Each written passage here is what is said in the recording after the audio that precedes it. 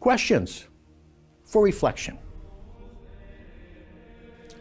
In our first reading, we hear portions of chapter 9 of the book of the prophet Ezekiel and portions of chapter 10. Ezekiel is given a deeply disturbing vision. Because Israel has committed abominations, the judgment of the Lord has come upon her. The scene is horrific. Make no mistake, sin invokes the just punishment of a just God. But note that there are some who are mourning and groaning, grieving and lamenting over the abominations committed by Israel. They are marked with a tau, the letter T. This translation says a cross. The early fathers of the church, in reading this passage allegorically, saw a foreshadowing of the Lord sending his Son, and the cross as the sign which would be marked on the foreheads of all the baptized, which holds back the judgment of God. Also, notice in the second part of the reading, we hear verses from chapter 10. Even after the horrific judgment, the divine glory was still resting on the cherubim. These are the angels who attend to the Lord and bear his throne. Even in executing his just punishments, the judgment which their abominations deserved, God does not withdraw his presence entirely. Our actions against the Lord, our sins, bring judgment upon us. But God's mercy is never far away. He calls us, the ones marked with the cross, to repent. He sent His own Son, Jesus Christ, our Redeemer, the one without sin, to pay the penalty for us. And as the Apostle Paul wrote to the Romans, for the wages of sin is death, but the gift of God is eternal life in Christ Jesus our Lord. Romans 6 23.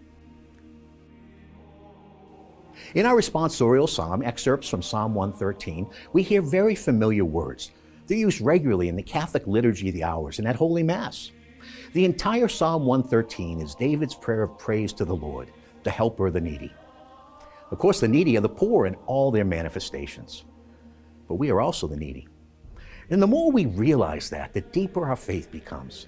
We realize the extraordinary love of a God who reaches out to puny, mere mortals like us and gives us the fullness of his love. David knew this well. That's why he was constantly praising the Lord. Realizing our utter dependency on God, our great need for his love and mercy, opens the door to an ever deepening relationship with him. He created us for Himself and calls us into a relationship with Him, and praise is the only real fitting response to such love. The Gospel for today's Holy Mass is taken from chapter 18 of St. Matthew. Remember, just recently we heard the first part of that chapter when Jesus calls a child to Himself to answer the disciples' question as to who is the greatest in the kingdom. In this passage, Jesus calls us to ever deepening holiness of life because we are his disciples. And that holiness calls us to live differently with one another. He's calling us to be reconcilers, eager to resolve our disputes with integrity. In fact, this passage and others like it form the foundation for what became the canon law of the church. This translation says, report it to the community. A more accurate translation is, tell it to the church. The early Christians did not bring one another to civil courts.